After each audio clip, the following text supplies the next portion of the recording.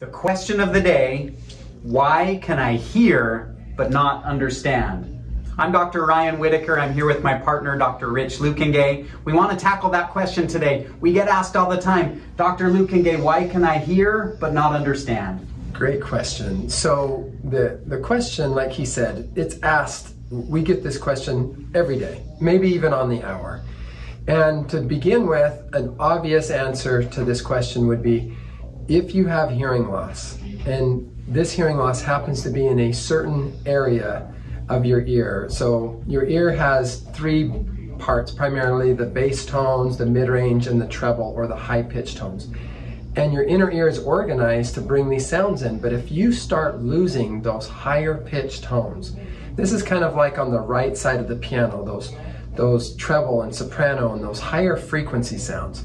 If you're losing those sounds, even though you're hearing the bass and the volume and the richness, if you're losing those higher frequency sounds, you're losing a lot of clarity. Things become mushy. They become kind of like they're run together. It's almost like mumble jumble. You wish there was more separation between each of the words. And so things really do sound mushy or mumbled or just not clear. You're lacking clarity. And so if you're losing the higher frequency sounds, you probably need a hearing device or some kind of assistive listening device to help facilitate that and, and amplify and bring a little more of that clarity back into the in, into your auditory system. That's the most common hearing loss we see, a high frequency hearing loss. You lose clarity. You know, sometimes people are confused what hearing loss even is, how it manifests. It's like if you have a little bit of trouble with your vision, it doesn't mean you're blind. You just might, might not be able to see the leaves clearly on the tree when you lose the high frequencies in hearing, you still hear. It's just not as clear. Right. So you hear it, you just don't understand it. That's a really common one. But there's some other factors involved too. Our auditory system is pretty complicated. And after the ear hears it, the brain has to process it. The auditory nerve and the brain stem, once the auditory system starts to decline. So in a person that does have hearing loss, not only do they not hear the high tones, but sometimes that auditory system, that nerve, that brainstem, it doesn't process the sounds very well. If it's not getting processed, boy, you might hear it, but you might not be able to understand it. Right. What about someone that has hearing aids? They know they have hearing loss, but they still feel like they're hearing but not understanding. You know, that's a really common one too is occasionally we'll get a patient that comes in and they have this concern, whether they're our patient or maybe they're someone we've never met, but they come in and they say, I'm still not understanding. I have hearing devices, but why am I not doing well? And some of this, like Dr. Whitaker was saying, has to do with how they're processing. They're not processing speech well.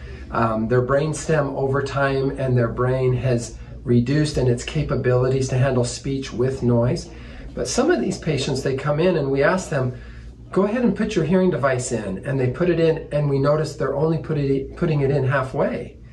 Or maybe we have them move their mouth a little and act like they're talking or simulate like they're chewing food. And sure enough, the hearing device will back out. Of course, if the device is not staying in the ear canal where it can give that facilitated sound pressure or give more of that gain and that help, if the if the hearing device is backing out of the ear canal, you're not getting the, the benefit that you should get to receive the clarity to understand that message better. And so an improper fit or something that's not fit properly and it's not staying in, it's not retaining well, that will never give you the clarity that you're hoping in a consistent way. That's right. You know, we understand hearing aids are a big help.